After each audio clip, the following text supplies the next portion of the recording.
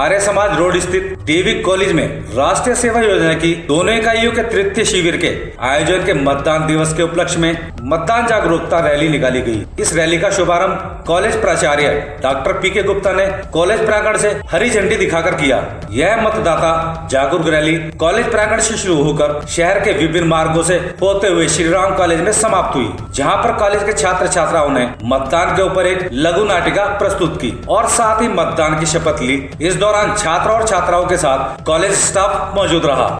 हाँ DAV college की NSS की इकाई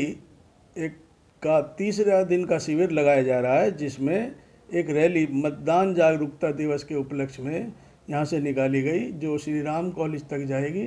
और वहाँ पर हमारे कॉलेज के बच्चों द्वारा एक नाटक भी प्रस्तुत किया जाएगा और ये इस तरह से आज का